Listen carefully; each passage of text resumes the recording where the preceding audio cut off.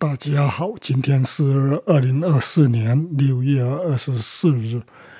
在节目开始之前呢，我再提一条能够证明所谓的中专数学天才江平是一个数学白痴的证据啊。关于他把那个对一求导写成汉字组那个公式呢，有人。那根据他抄的那一页的偏微分方程，把他抄的那个公式给还原了啊，然后就可以发现了，他不仅把对一求导写成了汉字组，还把字母小写的 b 给抄成了数字六，把小写的字母 u。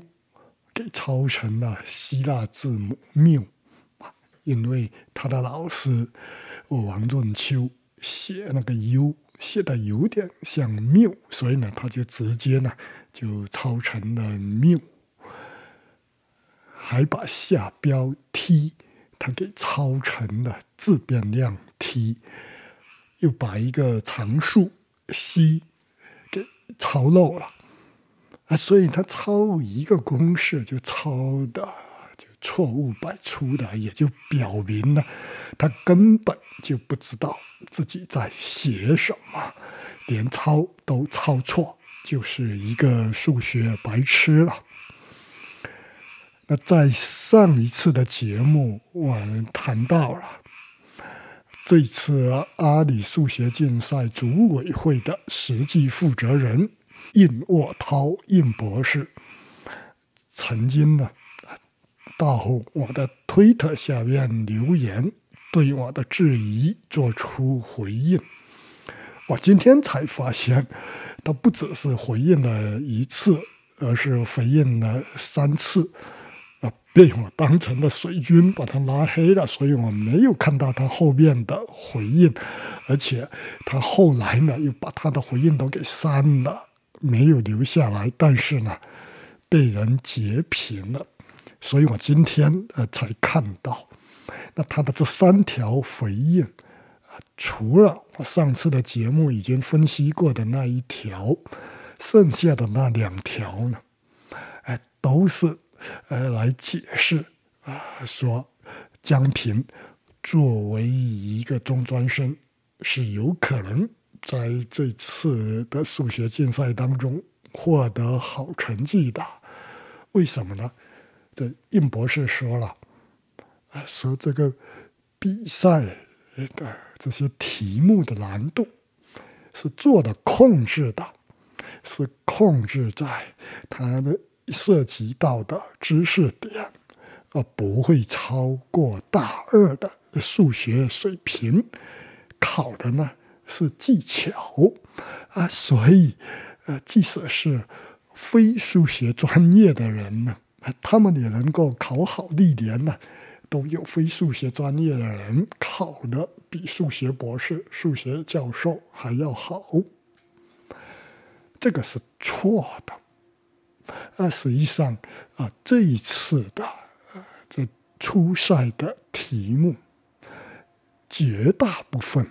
都超出了大二的呃数学水平，甚至呢超出了数学系本科的水平。大部分呢，呃都是属于数学系研究生的水平了。啊，比如说第三道题，啊它是属于数字几何；第四道题。是涉及到李群与李代数，第五道题是属于凸几何。那这些内容呢，都是属于数学系研究生的基础专业课的内容，也就是说，是要数学系的研究生定下了专业方向以后啊，才会去学的。一般的数学系的学生都不学，那怎么可能说？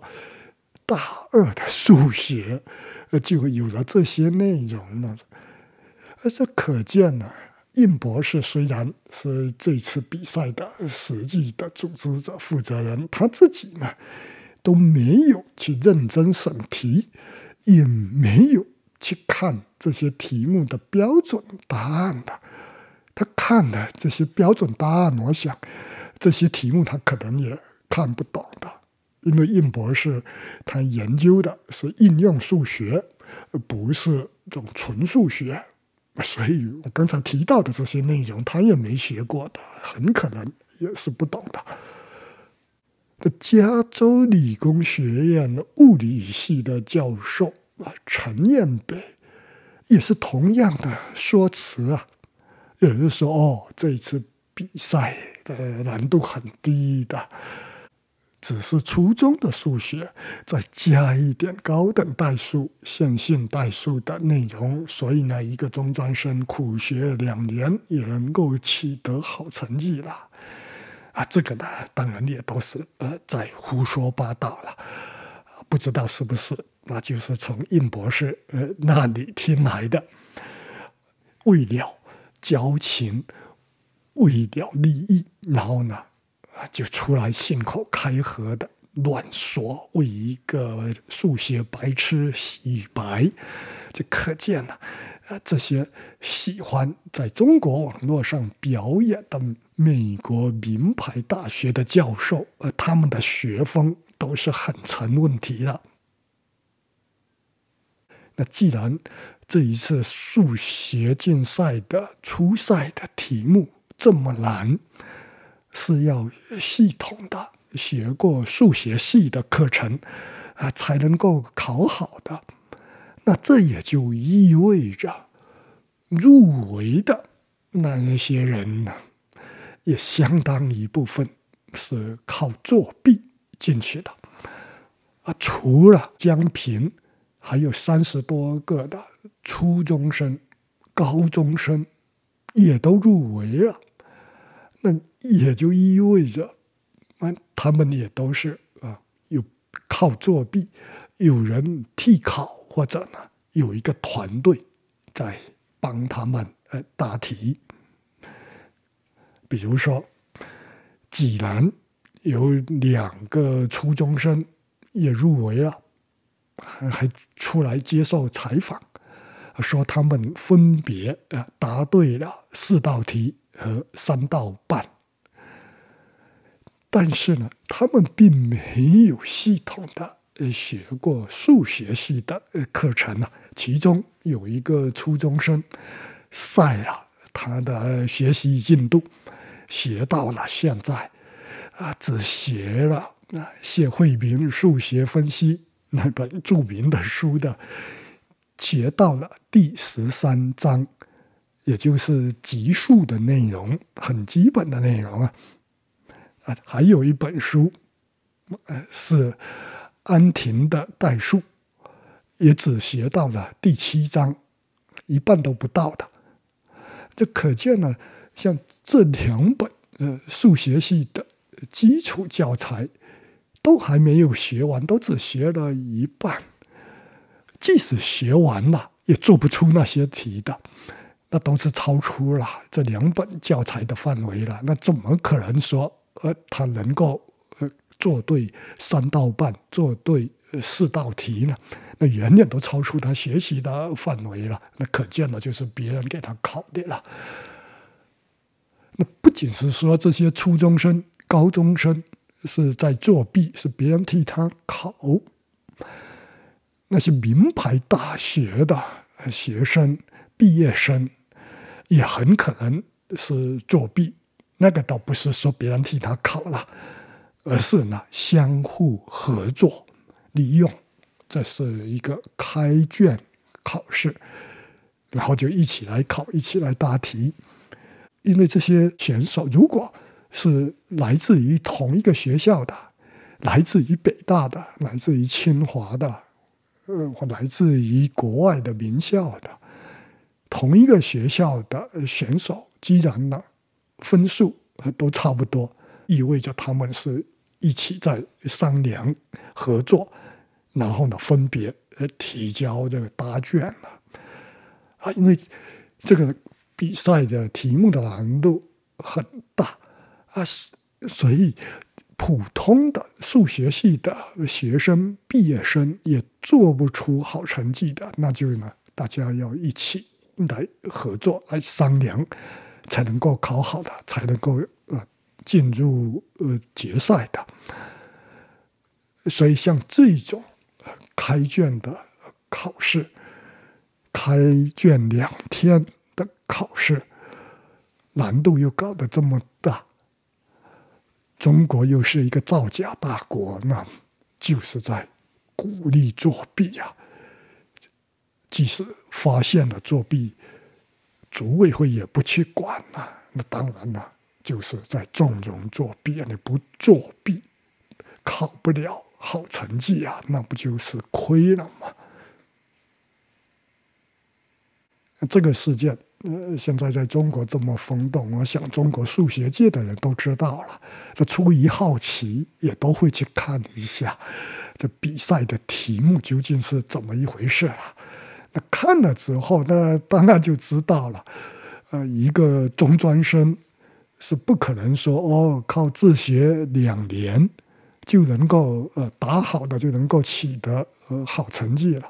但是呢，中国数学界的这些人、这些数学家、这些数学教授，要么呢不吭声，要么呢出来哦说一些客气的话，啊说一些支持、鼓励、呃江平的话，甚至呢在江平呃遭到质疑的时候，还要出来。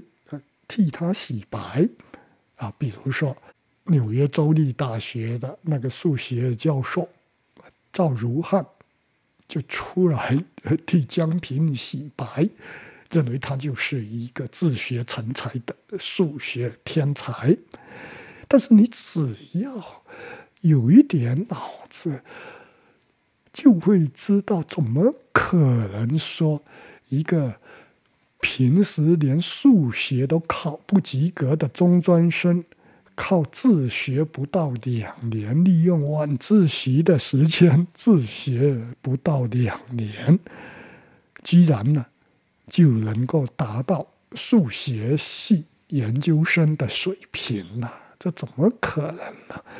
就可见了中国的这些数学家、数学教授。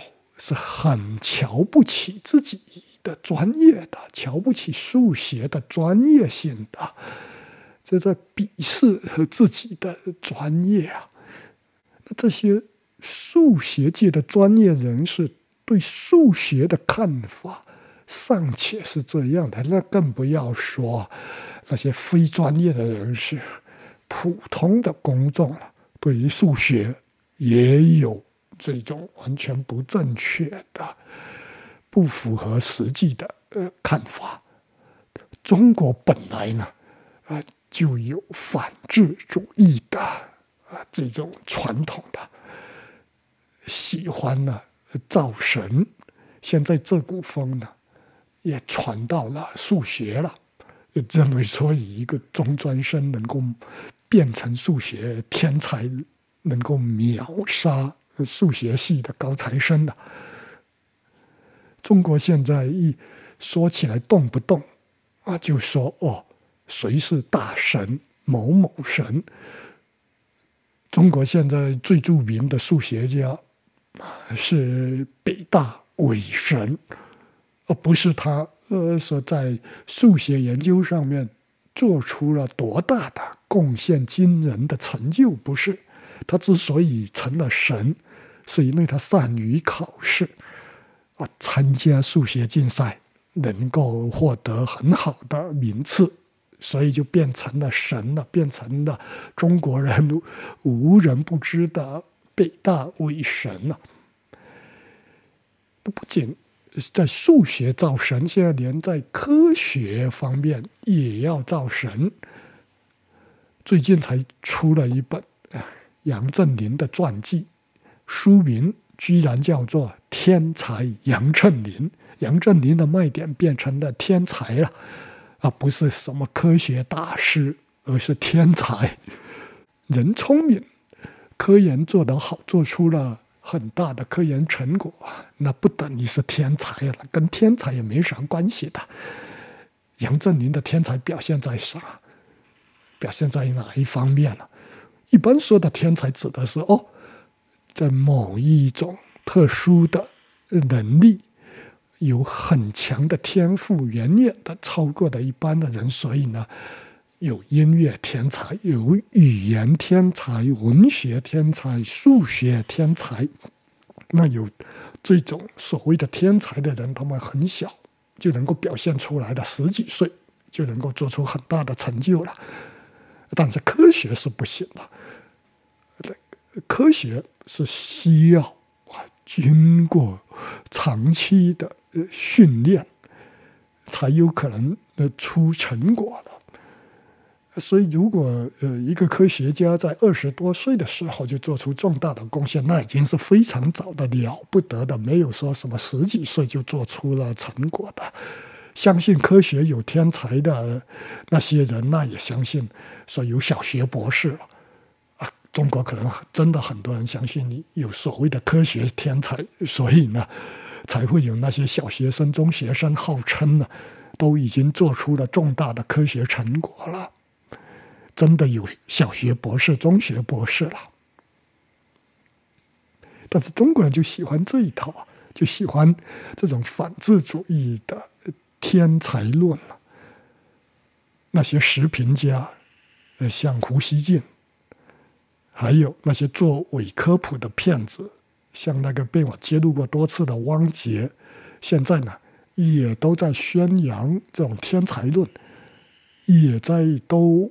为这个数学白痴江平呃洗地，都认为他就是一个数学天才呀。那中国的官媒也参与了这种制造宣传天才论。